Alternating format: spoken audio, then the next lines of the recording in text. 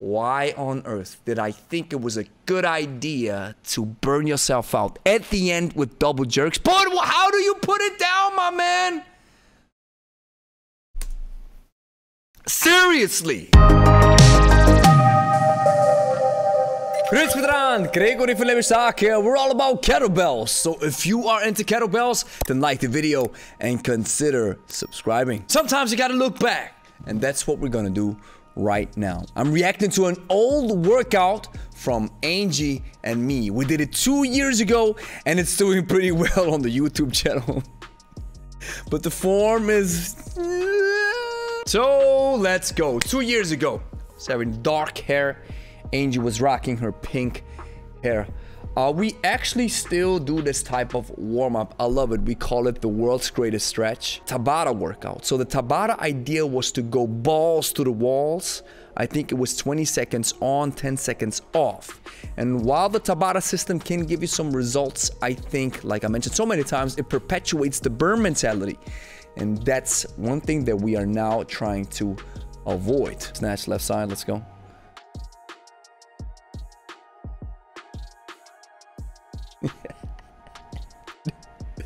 Watch this, guys. Watch this. Watch this.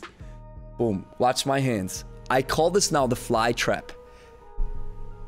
If you have open hands, close them. And the way I like to close it, I'm not trying to grip the kettlebell because when we have a deep hand insertion, then the kettlebell rests fairly deep on the forearm.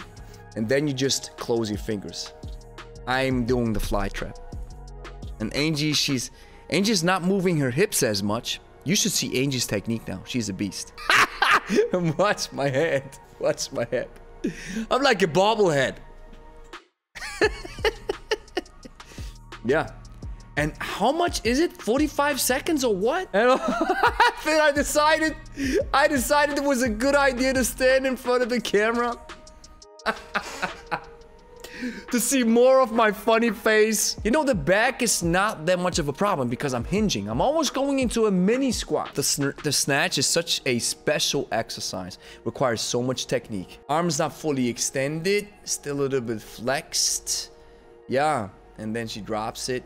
She pushes the hip forward because, yeah, we, we tried it. And you have to understand, we already had the good information. And we were trying things out. And sometimes you have to experiment. But maybe... Oh, and how do you drop it, my man? Be careful. maybe if you're experimenting, don't put it on YouTube. but hey, no, that's the journey. And I appreciate, I embrace my journey. Es ist noch kein Meister vom Himmel gefallen. There's a German proverb. what is this? Angie's watching me like, what's up with you, bro? Love it. Angie's on her toes. I love it. And what am I doing? What am I doing? Whoosh. Yeah, some kind of a jerk, even though it says press, my man. What kind of description? I look, I look like a beanbag. and Angie's rocking the 12 kg. Oh, Angie's strong. Angie's a beast. I love her for it. She's a beast. How do you drop those weights, my man? We're not respecting the weights, guys. It's not how you're supposed to do it. And what does it mean, respecting the weight? I love the first rule of safety when you're handling firearms. Treat the weapon, treat every weapon like it's loaded. And I love this how Pavel coins it. Treat the kettlebell like it's loaded. I'd like to say handle the weight with respect. I'm handling a 16 kg. I'm going too fast, so I could be prone to injury. I could hurt myself. Thank God I didn't. Yeah, yeah. Oh my God. That's the past. You gotta embrace your past. I love my face. Watch my face. Watch my face. You gotta, the squats, right? But we, you know, Wow, and these are pretty fast squats. Wow. Wow, you gotta respect that. If you understand the biomechanics and the dynamics of a back and a front squat with barbells, or even with a dumbbell, and just body weight squats, then you feel at home pretty quickly with the kettlebell. Something that I'm developing right now is the game face. You see how Angie is applying the game face, and I'm like, uh, yeah. I learned it. Amy is bending her back to a certain extent. Something that I really see of her, but you know, we got tired. And when you get tired, yeah, I like to row, but yeah, see, that's why I'll never do this type of workout again because I don't see any additional value in it. Even ties into the idea of Pavel's AGT method anti-glycolytic training, something that I have to do some more research on. I do still think you need to have some endurance aspect and some strength aspect in your training to be a well-rounded generalist. At the end of the day, you can win and be successful with almost any training system. I would just add to the fact that maybe a Tabata is prone to injury to a certain extent because you're always maxing out. As you can see, our technique is, you know, questionable. Press, jerk, say what?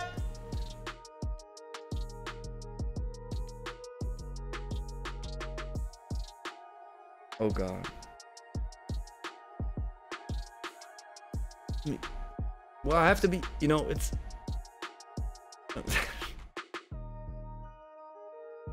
oh, oh, I'm leaning back so hard, my man. You're leaning back so hard. Yeah, but you know, the rest position takes time. And your game face is off, my man. And jerks, it took me ages to perfect this lift.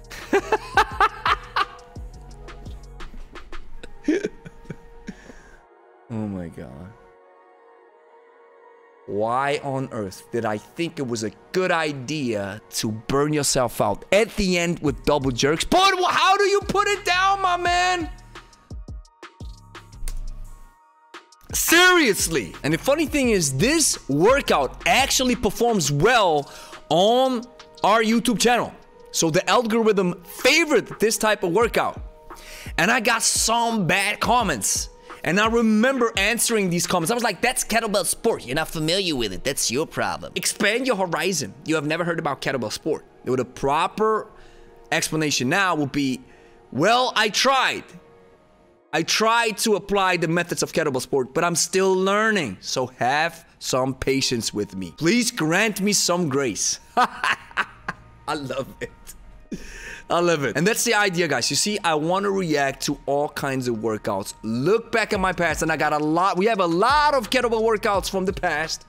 And when we find a gem, I will react to it. And this is how I want to show you that I was on a journey like everybody else, and I still am. The world of kettlebells is dominated by two training styles called hardstyle and kettlebell sport. Although vastly different in nature, they have been proven to work and give you the most bang for your buck whenever you pick up a kettlebell. If you understand them correctly and are able to differentiate between the two. If you are a beginner, this task might be understandably confusing. Enter the hybrid style and discover how to combine the best of both worlds. The hybrid style masterclass is a 10 week practice based online course that will help you take your kettlebell skills to an elite level. Made in Switzerland. Learn what's been holding you back and how to become a versatile kettlebell master without having to piece together countless YouTube videos or rely on a gym membership. The price of the hybrid style masterclass is 397 US dollars per month for 3 months. Save 20% with a one-time payment of 997 US dollars. We'll open registration only to a small number of new students every 3 months. Join the waiting list now to get access 24 hours hours before the general public. Link is in the description.